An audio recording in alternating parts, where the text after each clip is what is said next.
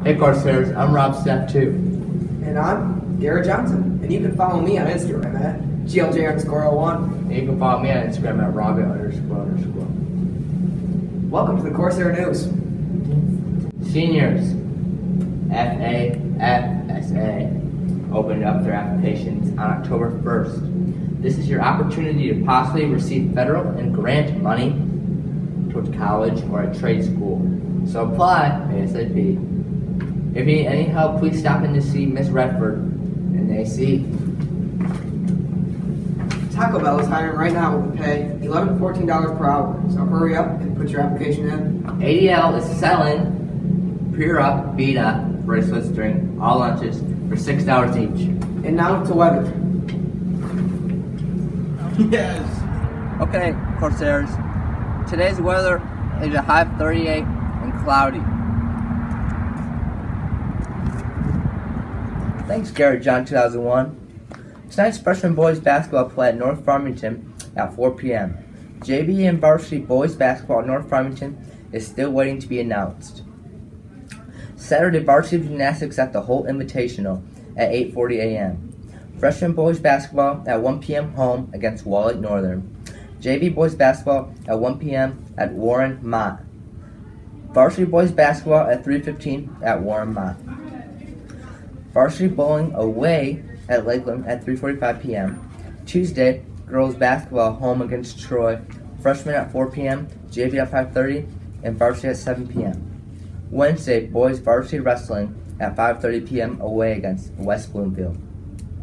Varsity hockey away at 5:45 p.m. at Troy. Thursday, boys basketball away at Warren Woods Tower. Freshmen at 4 p.m., JV at 5:30 p.m., and varsity at 7 p.m. Boys varsity swimming home against Avondale at 6 p.m. And now back to Garrett John 2001. Leadership is now accepting new members for our class for second semester. You can find applications outside room 411 and they're due by December 7th. Want to be a photo in the yearbook? Upload your photos using the HJeShare app. School code MOT. We currently need photos for the summer, but you can send us any school appropriate photo throughout the year. Uh, preseason lacrosse conditioning will be held in the Kettering weight room in North Gym. Coach Jeff will be running the weight room and K-band circuits. The gym will be utilized to focus on agility and stick work.